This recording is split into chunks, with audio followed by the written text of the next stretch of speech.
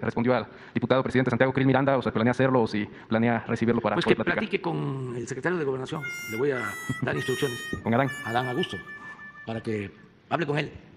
Y como decía el general Mújica, hechos, no palabras.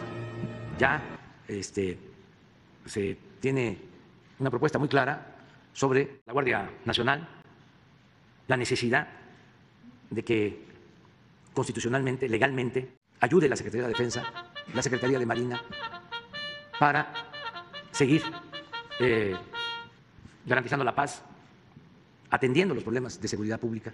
Y, con todo respeto, el diputado Krill, sus compañeros, diputados y senadores, no han ayudado en este propósito. Se les olvidó de que ellos utilizaban al ejército para tareas de seguridad pública que estaban prohibidas por la Constitución. Y entonces no hablaban. Y ahora que estamos planteando que, de acuerdo a una reforma constitucional, se pueda contar con el apoyo de las Fuerzas Armadas, ellos eh, actúan de manera facciosa, incluso eh, hasta irracional, de manera contradictoria.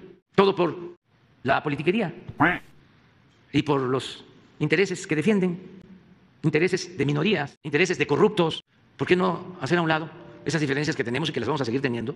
Porque no podemos pensar igual. Así es la democracia. Tiene que haber eh, pluralidad, no puede haber pensamiento único. Bueno, sí, pero hay cuestiones en las que no se puede hacer politiquería. ¿Cómo eh, utilizar el asunto de la seguridad pública con propósitos politiqueros, electorales? Están mostrando el cobre. Y sí, que hable con Adán y ahí está la Secretaría de Gobernación. Dice- Pero di- dice este, que si se reúne nosotros con- no vamos a... Dice que si se reúne con usted sabrá respetar su. No, su no, eso ya lo sé, porque yo lo respeto a él. Si no se trata de eso, se, se trata de eh, no estar haciendo pues eh, publicidad. Allá anda en Europa el presidente del PAN acusándome, Parlamento Europeo.